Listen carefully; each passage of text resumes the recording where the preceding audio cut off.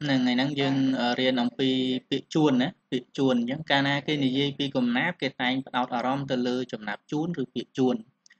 អញ្ចឹងគេឲ្យចូលសូត្រកំណាព្យខាងក្រោមដូចថ្ងៃមុនយើងបានរៀនយើងបាន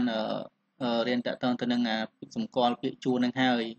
អញ្ចឹងមើលនៅក្នុងនេះបទកានេះជាបទកាកតិហើយគេឲ្យមើលក្នុងអក្សរដិតណាអក្សរដិតនេះយើងមើលនេះពាក្យល្អវាជួននឹងនឹងក្រណា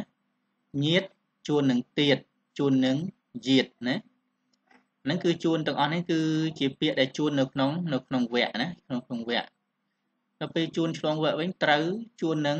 ផ្លូវនេះណាណាត្រូវវគ្គទី1ជួននឹងផ្លូវណាវគ្គទីវគ្គទី2ហើយនៅក្នុងវគ្គទី2ផងដែរ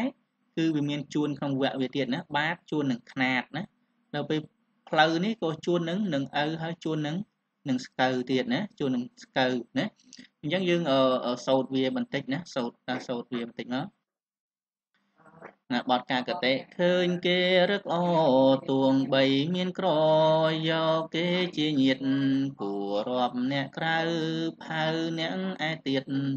រាប់រឿងមេរយាទសុចរិតត្រឹមត្រូវរៀនបត់រៀនបាតកុំកោងហួខ្នាតកុំភ្លាត់ហួផ្លូវកុំភ្លើនភ្លេចម៉ែកុំប្រែហួឪឃើញចាំងសស្កើកុំសូវមើលងាយ ហ្នឹងហើយអញ្ចឹងអត្ថបទនេះផងដែរគឺគេដកស្រង់ណាដកស្រង់ចេញមកពីអឺច្បាប់ក្រមងុយណាទំព័រទី2អញ្ចឹងអឺនេះគឺជាវិធីសូត្រនិងរបៀបនៃការមើលពាក្យជួនណានៅក្នុងកំណាព្យណាហើយកំណាព្យនេះផងដែរគឺជាកំណាព្យបតកាកកតេ